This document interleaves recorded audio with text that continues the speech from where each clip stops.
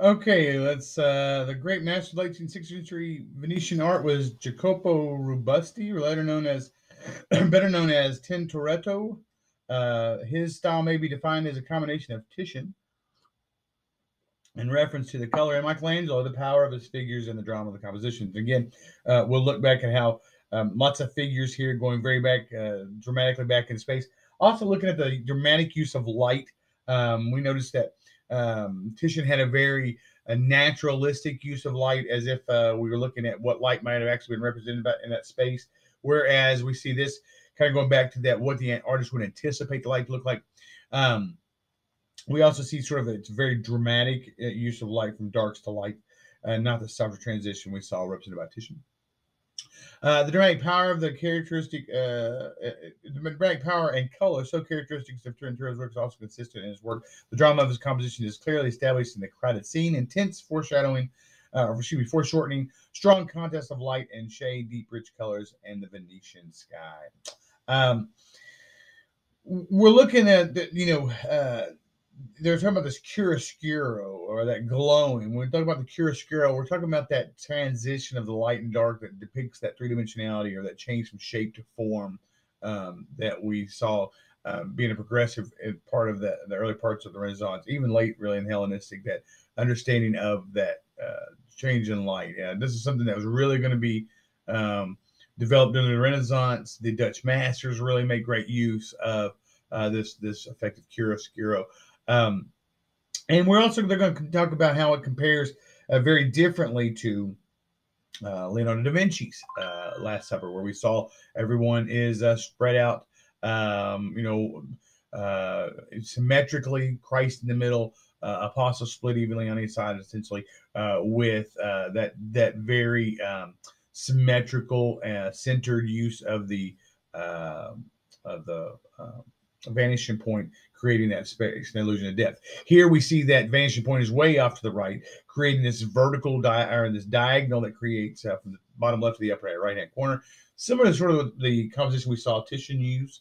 Um, and but um, we're thinking how differently all that is is compared to that uh, that earlier that earlier Renaissance uh, work. Here we're getting kind of um, into that uh, later 16th century. We're in Venice. Things are getting different. Things are getting crazy, and this is how it's happening.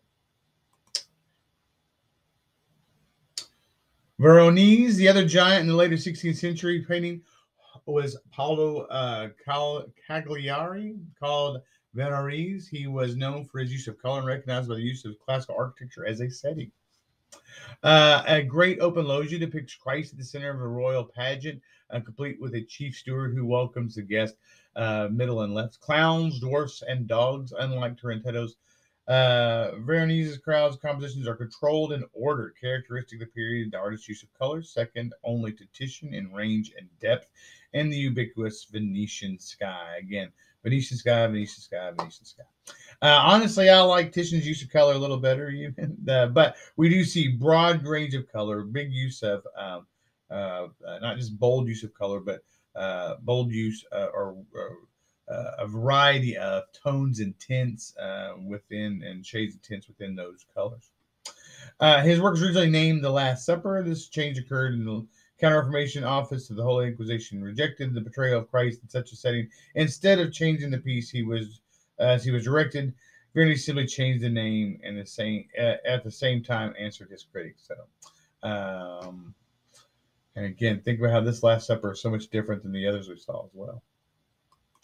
One last slide before we put you off to doing your assignment for the week. Uh, the most famous Venetian architect of the era was Andrea di Pietro, known as Palladio. Palladio, excuse me. The artist was also a scholar and author in the treatise on architecture influenced Western building for generations.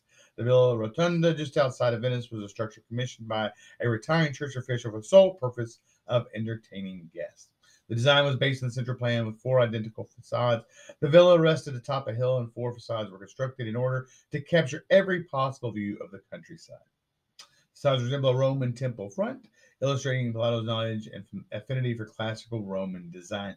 Uh, and again, um, you know, we see the influence of. Uh, talk about Roman, but obviously this is Greek influence uh, because we see those Ionic columns. Those started with Greeks. Uh, that, that, the pediment at the top, those are all kind of Greeks.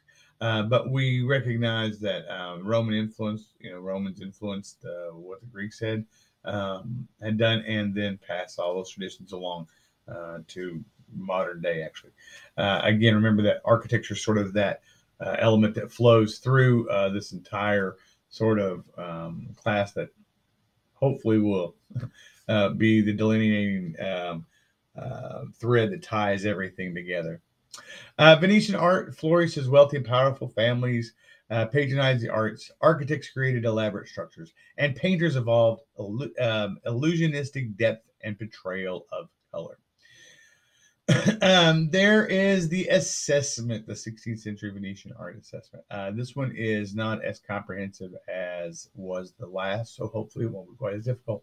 Um, and uh, we'll look um, and some changes coming up um, here at the end of class. We'll talk about you know some of the ways things that might uh, change a little different, uh, be a little different going forward. Okay, have a great day, guys. Thank you.